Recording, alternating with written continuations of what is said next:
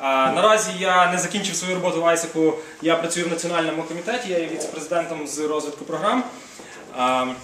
Зараз я вам розкажу про те, що таке ISEC, взагалі, чим ми займаємося, чим ми займаємося е, у всьому світі і який є вплив організації у всьому світі. Отож, е, ISEC як організація був заснований в 1948 році, був заснований представниками е, семи країн, е, європейських країн. Е, і основною метою заснування ISEC було е, забезпечення миру у світі. Е, 1948 рік це був, був післявоєнний період. Е, У той час, е, по суті, е, світ ще не міг оговтатись від Другої світової війни. І представники цих семи країн були е, націлені на те, щоб е, знайти порозуміння між людьми, знайти порозуміння між різними країнами, які були розрізнені в Європі в цей час.